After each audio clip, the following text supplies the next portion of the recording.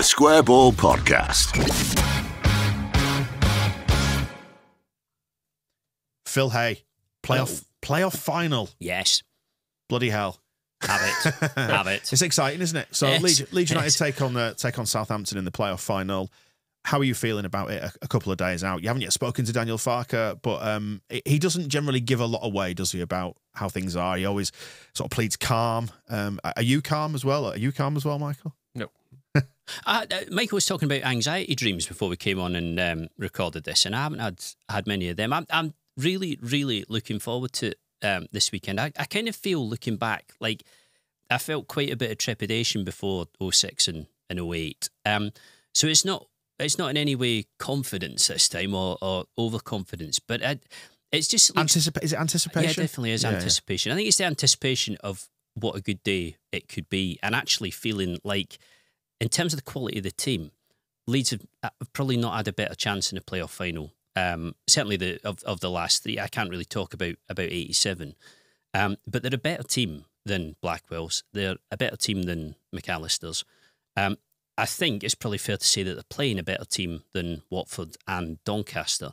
Um, but I would say this is one of those 50 50 games where neither side is going to get away with playing well. I think it will it will totally come down to who plays best on the day, which isn't always the case because sometimes you just get this disparity between the teams, which means that one can you know can can dip a little bit. You mean get away with Um, playing badly rather than playing yeah, well? or, Yeah, I or know what you not playing not, Not playing, playing to the, Yeah. their peak. Um, but I think I think you will find on Sunday that the best team over over the course of the game wins it. Yeah. Um, can do strange things to teams come Wembley finals, can't they? In terms of just producing an under par performance. So I'm I'm trying to remain again on the on the side of positive when it when it comes to this. And I took great comfort out of how Leeds embraced the crowd in the semi final. The way that the players were trying to simultaneously wind up the crowd, but also then on the pitch, rather than just getting swept along by the occasion, there were moments where we're going to look after the ball here for five or ten minutes, just calm it down. Farke was on the on the sideline saying, "Calm it down."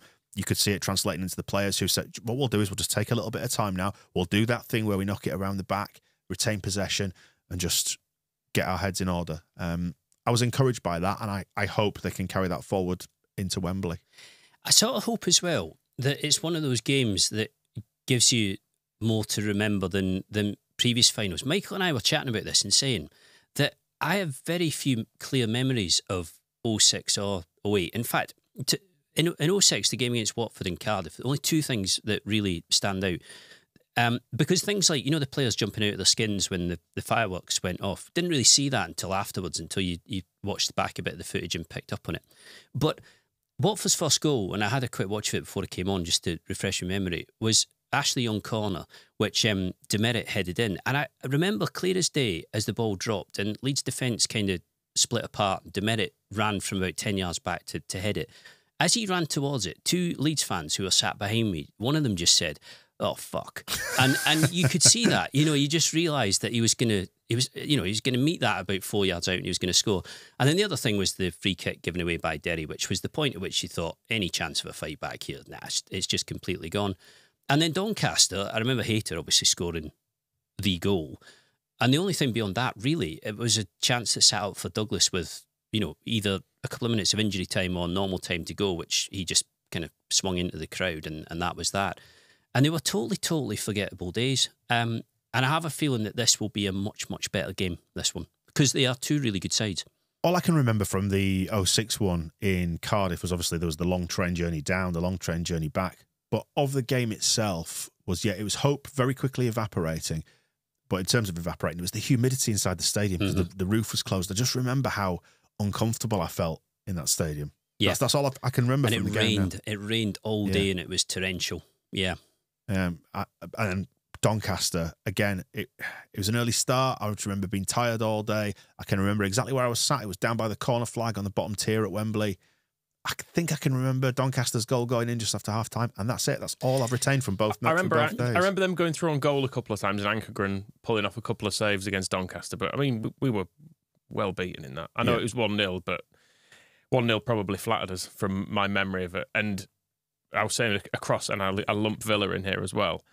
Across the three finals I've been to, I can barely remember us having a single shot on target, Yeah. which is remarkable, really, from three games. We've never scored. I know. Have we? But we've not, even, we've not even come close. There's not even been one where you felt someone should have scored. There've been odd shots from distance that you kind of go into a keeper's hands and you go, all right. And that's well, that's exactly what I was talking about about um, final uh, occasions, occasionally doing strange things to, to footballers. And then they kind of go into their shell and Well, they, just, I'll give they don't you, ever respond. I'll give it. you a really good example of that. You were talking about feeling quite tired on the Donca- uh, for the Doncaster game. David Prutton played in that game, and I remember him saying afterwards, when you walked out into Wembley for the first time, went onto the pitch after getting there on the on the coach, he said it was the stadium was so massive that it almost he felt like it almost sucked the energy from him. You know, it, he felt a little bit um, overawed by the fact that it was just this huge, huge arena that felt totally, totally cavernous. And I think none of these players, Leeds players, not many Southampton's players either, will be particularly used to that um, and used to a crowd of of that size. But I do think football's changed though quite a lot, and I think players have got better and better as time's gone on at just being able to apply themselves to their training and the the tactics and the the plan for the day. These two teams are both very strong, very good, um, very very capable. I don't think I don't think there's any reason why it can't be a really good final on Yeah. Sunday. You know, for for anybody neutral watching, why it won't be a good game. I'm, I'm Ter- aware, terrible nil nil now. Yeah, it? yeah, almost certainly. I'm aware it applies to some Southampton players as well, but some of the people we've got in the team this year as well do give me a little bit more confidence. Like Rodon has played in some very big games for Wales.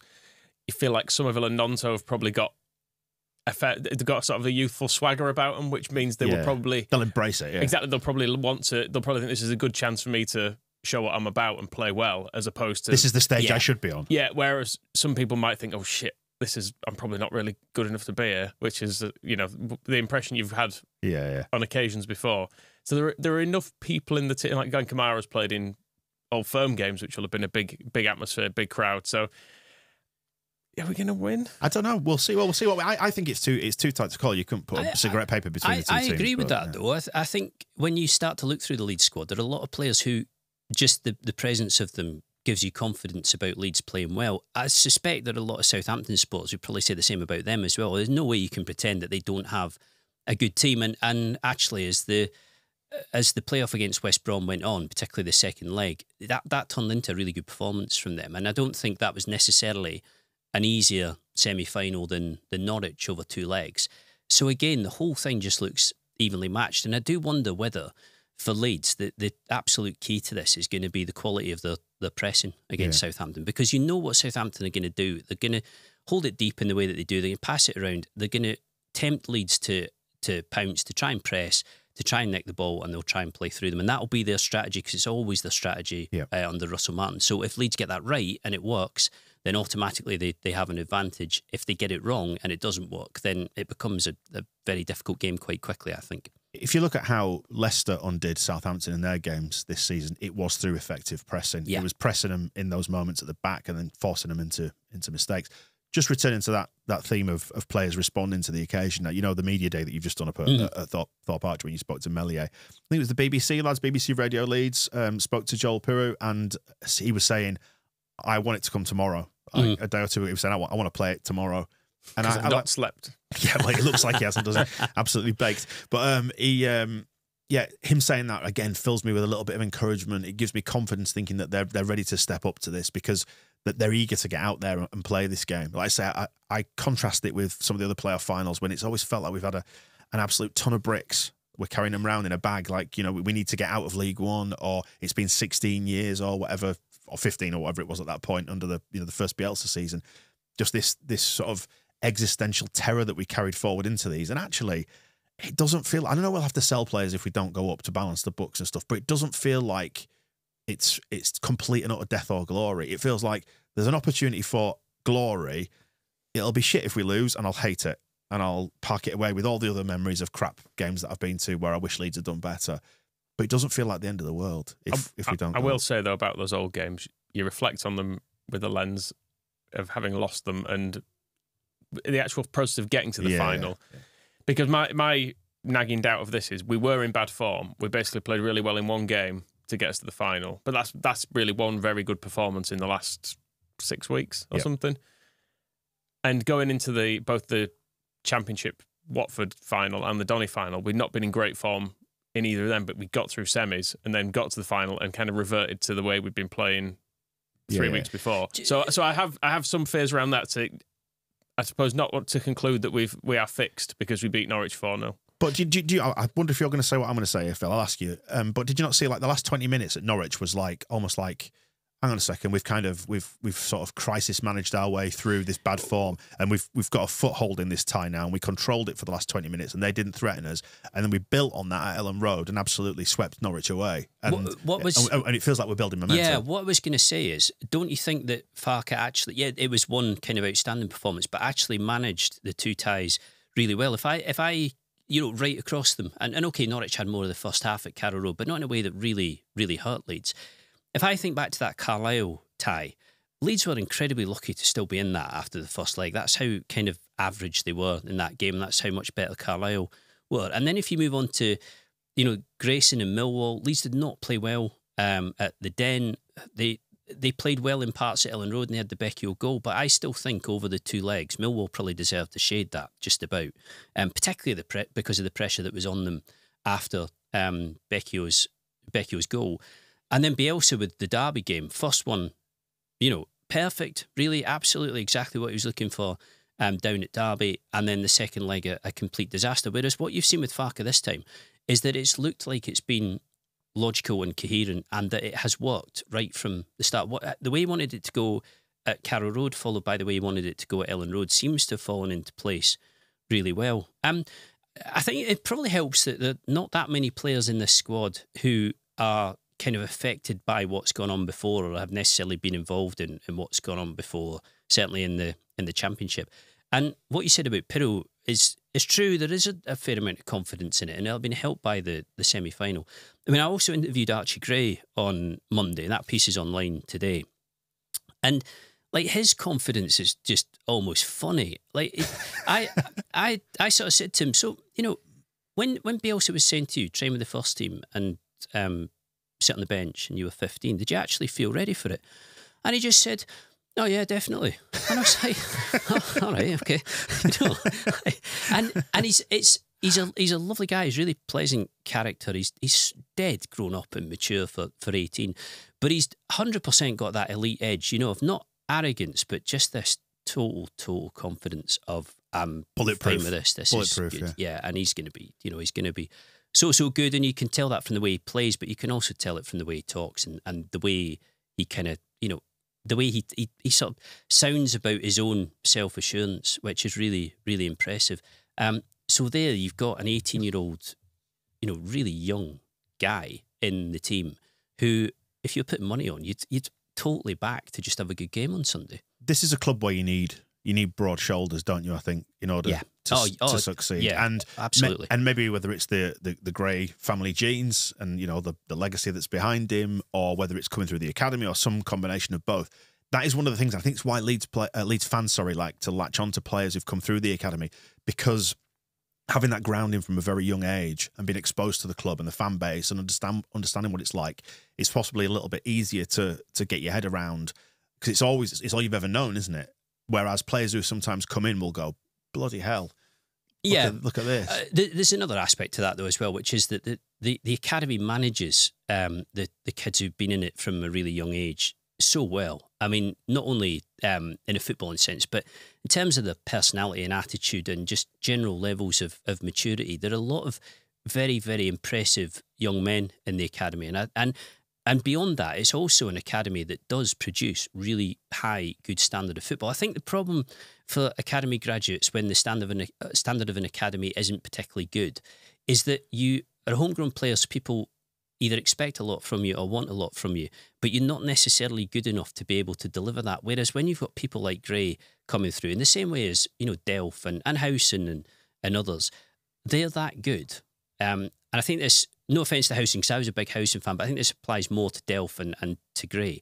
When you're that good, you're going to be able to to cope with it. And it might be the bloodline and it might be the the genetics, but I also think, I mean, I asked, I was asking Archie about his brother Harry, who's kind of coming up behind him and might be about to go. He's younger, obviously, and and might be about to go through the same sort of learning curve. And I was saying to him, you know, how how much are you having to sort of help him? How much do you pass this on to me? He just said.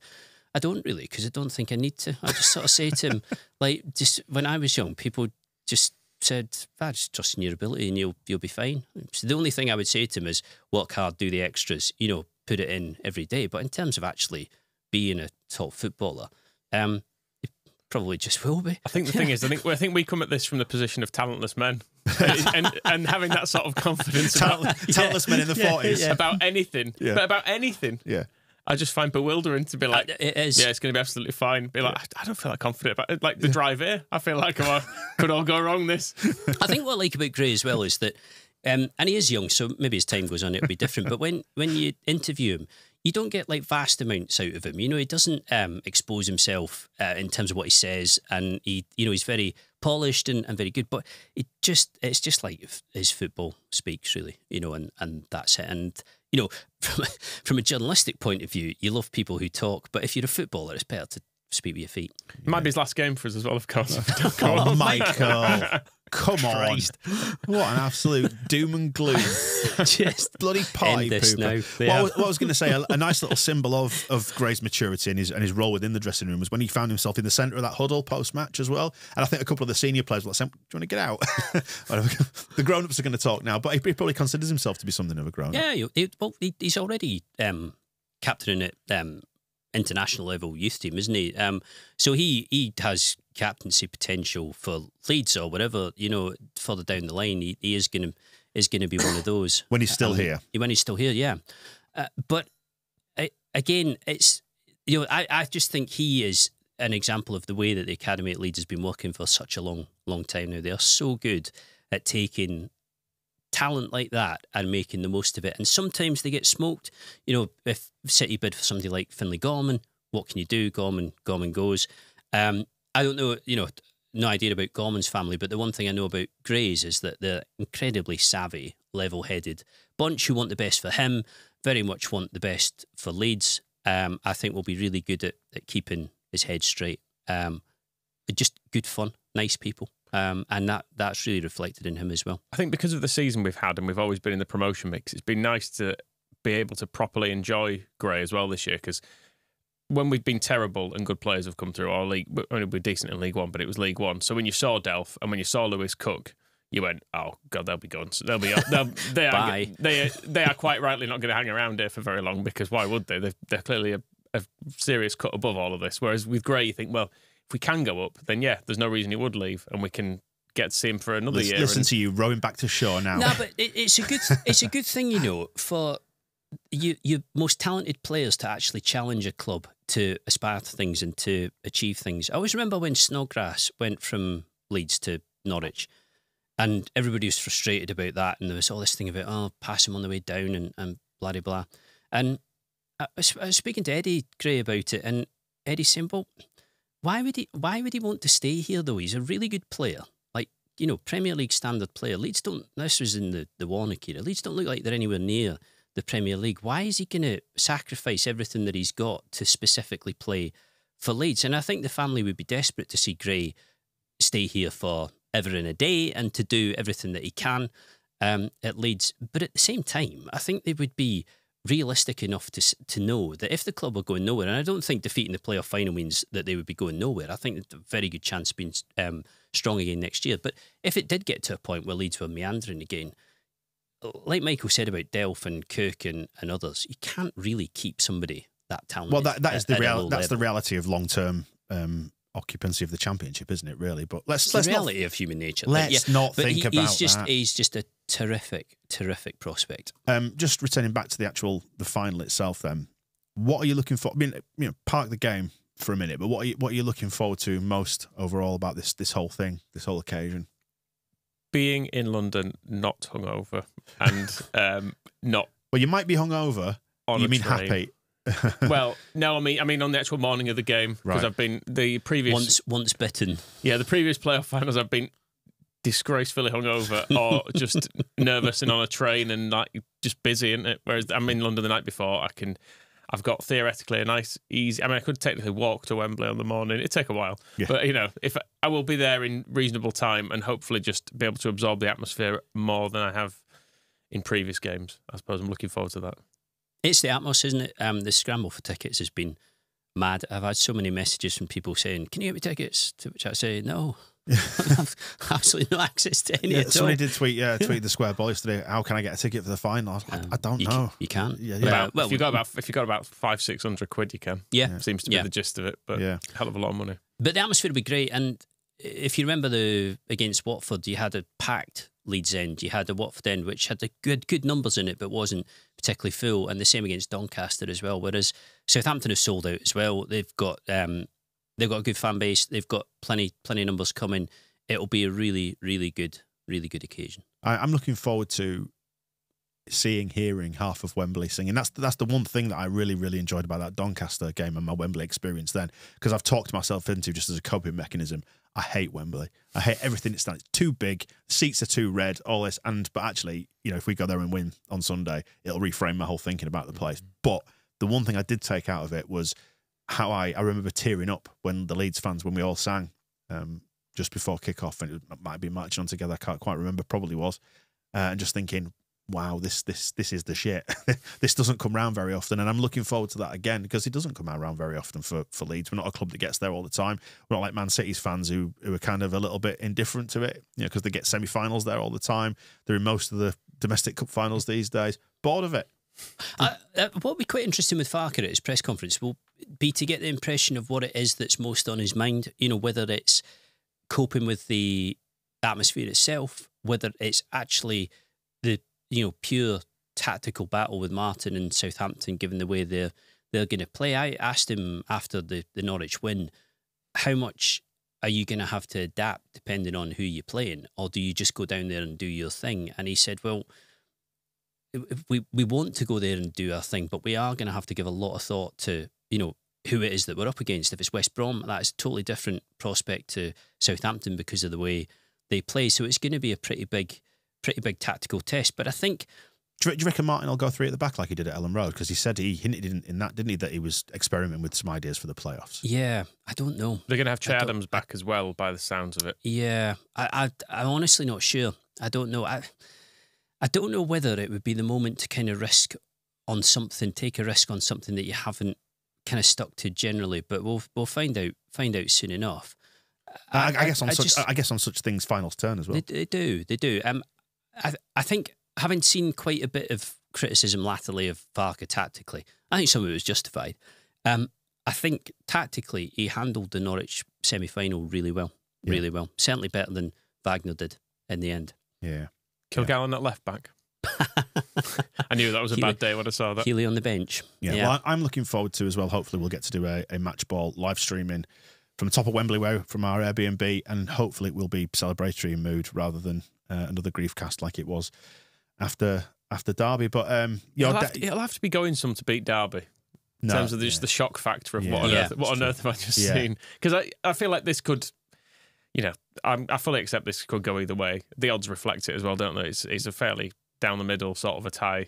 Someone starts well, they'll probably win it, whatever. Whereas the Derby game, at Stuart Dallas scores and everyone goes, well, hey, book Yeah. the trains. yeah. I bet, I, bet yeah. some, I bet some people did actually. Yeah, whoever gets the first goal, I think, is, is praised. I I it's an, obvi- feel like it's an that, obvious yeah. thing to say, isn't it? But No, but I think um, I think if you look in the Premier League at the moment, it seems to matter less and less scoring first. You have so many um, teams who recover from positions where they're getting beaten um, to to win games, but this feels like one of those where it, the, the initiative from the big uh, from the first goal will be really really big. I don't think either there's an awful lot you can do, uh, do about the fact that you're coming up against another really good team, and that just makes it a kind of straight shootout, doesn't it? Which somebody's got to lose. Um, And I think whoever does lose it will need to be fairly philosophical in saying, well, you know, play that 10 times out of 10, you probably win five, they probably win five, and, and that's how it is. I think Leeds have been the better team over the course of the season, but there hasn't been a huge amount in it. no, no. I think Um, if you st- if you'd have stuck both teams in this year's Premier League, they'd probably both survived. So, Yeah, well, yeah, cer- no, I think- I certainly think if you're you're right. allowed if you're Yeah. allowed to leave that bottom three in. Yeah, I think so. I think so. Um, I mean, we haven't spoken about the fact, have we, that Southampton have beaten Leeds twice this season and Nah, I don't count, Phil. deservedly. But, but this is this is the thing. I I, I I'm I, do you know what? I, I wonder if that might actually help us a little bit in terms. Well, of I'm ma- absolutely managing. certain that Martin will not um, Yeah. shout the odds about that. I mean, man, Um, in terms of managing expectation from our point of view as well, that we don't go into it overly confident, Yeah. and, and we know that there's a there is a problem there to solve, isn't there? I think there's no danger of overconfidence um, among the players or among the supporters, and that probably applies to Southampton as well.